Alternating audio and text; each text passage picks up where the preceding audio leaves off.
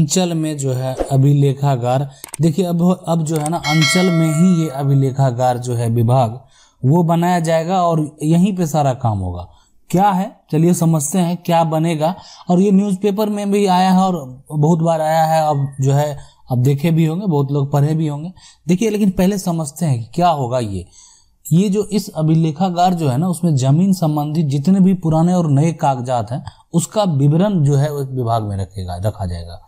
तो इस विभाग में मतलब आपका जो भी है, पुराना हो, नया हो, जो भी कागजात है, उसका इन्फॉर्मेशन रखा जाएगा। सारा जानकारी मतलब ऐसा नहीं है कि उस इन्फॉर्मेशन को डिस्ट्रॉय कर दिया जाएगा, हटा दिया जाएगा, ऐसा तो कुछ नहीं। कि उस सारा इन्फॉर्मेशन को हटा दिया जाएगा, इन्फॉर्मेशन रखना ज़रूरी होता है। ठीक है? तो जो है ये जो अभिलेखागार विभाग है इसमें जितना भी ज़मीन संबंधित पुराना हो नया हो और जितना भी कागजात है उसका जो विवरण है उसको रखा जाएगा ठीक है? सारा विवरण को रखा जाएगा। अच्छा इसमें जो है ज़मीन संबंधित सभी सभी इंफॉर्मेशन को कंप्यूटर कंप्यूटर पे जो है रखा जाएगा ताकि ढूंढना भी आसान हो मतलब उसमें सारा जितना भी है उसको एंट्री एक कंप्यूटर पे जो है कर दिया जाएगा ताकि आ, लोगों को अगर कोई भी इंफॉर्मेशन मांगने आए तो उसके लिए ढूंढना आसान हो। तो ये जो है ना तो अब देखते हैं इसके, इसको पहले एक बार समझते हैं, फिर आगे बढ़ेंगे। देखिए, यहाँ पे जो है ना, बोला कि राज्य के दो सौ सड़सठ, है ना, दो सौ सड़सठ है अंचल में जो जल्द आधुनिक अभिलेखागार का काम जो है वो करने लगेंगे लेकिन राजस्व एवं भूमि सुधार विभाग दो सौ सड़सठ अंचला में बने आधुनिक जो है अभिलेखागार के लिए जो है प्रति अभिलेखागार जो भी है, खर्च किया गया, राशि दी गई और उसके लिए जो है मतलब जो सामान वगैरह है वो खरीद के लिए और शेष बचे अंचलों के लिए नए वित्तीय वर्ष में दी जाएगी। तो मतलब ये सब के लिए नहीं है फ़िलहाल। तो पाँच सौ चौंतीस टोटल अंचल कार्यालय है। मतलब जो अंचल कार्यालय है, वो पाँच है, जिसमें 436 का जो भवन बन के तैयार है, लेकिन अभी फ़िलहाल ये जो काम होगा, अभी लेखाकार विभाग का, वो दो सौ सड़सठ अंचल में ही होगा। तो विभाग से विभाग से मिली जानकारी के अनुसार जो है, इसके लिए जो है मतलब तत्काल पाँच जितना ये अंचल है, उतना डाटा एंट्री ऑपरेटर जो है, वो भी वहाँ पे बहाल किया जाएगा।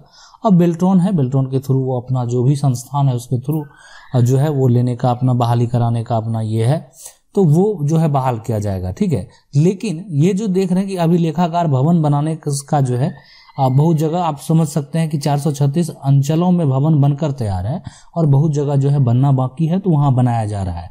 तो ये बनाने के बाद सारा इन्फॉर्मेशन वहाँ रखा जाएगा, सारा कंप्यूटराइज होगा, ढूंढना आसान होगा, कोई भी इन्फॉर्मेशन निकालना आसान होगा।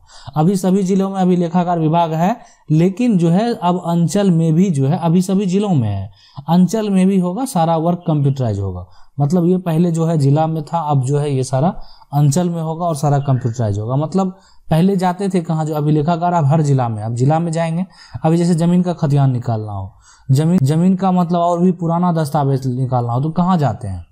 ठीक है? तो वहीं जाते हैं, अभी लेखाकार विभाग में जाते हैं, डिस्ट्रिक्ट में जाते हैं, जो अभी लेखाकार विभाग है, वहाँ पे अपना खतियान के लिए अप्लाई करते हैं, वहाँ से खतियान निकालते हैं। ठीक है? तो जो भी है, नया निकालना हो, नया निकालते हैं, पुराना निकालना हो, पुराना निकालते हैं तो ज़मीन का जो भी दस्तावेज़ होता है, वो वहाँ पे रखा जाता है। तो ये अभी कहाँ है? सारा जिला में है।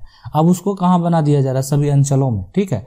अभी और देखें, जिला में भी अब लगभग बहुत चीज़ कंप्यूटराइज हो गया, लेकिन अब अंचल में भी सारा काम अगर कंप्यूटराइज हो जाएगा तो कोई चीज़ ढूंढना इन्फॉर्मेशन निकालना आसान हो जाएगा।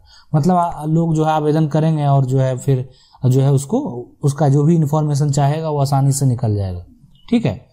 चलिए आगे बढ़ते हैं और समझते हैं इसको कि देखिए, बिहार में पाँच सौ चौंतीस अंचल में जो है इतना अंचल भवन बनकर तैयार है, वही बात है, और जिसका जो है काम एक तरह से शुरू और जगह भी चल रहा है। और इस सत्र में दो सौ सड़सठ अंचल में है, जो है काम शुरू किया गया, और अगले सत्र में पूरा जो है मतलब एक तरह से है मतलब एक तरह से समझ लीजिए कि आप पूरा जितना भी अंचल है, पाँच सौ चौंतीस अंचल है, सभी जगह ये लागू कर दिया जाएगा, और इसमें कंप्यूटर जो है, ऑपरेटर अभी नहीं है। तो इसके लिए सभी अंचल और अभिलेखागार में जो है को बहाल करना है। मतलब कहीं पे भी कंप्यूटर वैसा ऑपरेटर है नहीं तो इसको जो है बहाल करना सरकार को और जल्द जो है इसका बहाली प्रक्रिया भी किया जाएगा और ताकि जो है मतलब सिस्टम को क्या करना है, सिस्टम जो है कंप्यूटराइज बेस्ड हो जाएगा। सारा इन्फॉर्मेशन उससे होगा। जैसे आप जाएँगे, अपना स्लिप भरेंगे, नहीं, हमको ये इन्फॉर्मेशन चाहिए। तो पुराना, नया सारा इन्फॉर्मेशन वहाँ अवेलेबल होगा और आपको निकाल के दे दिया जाएगा।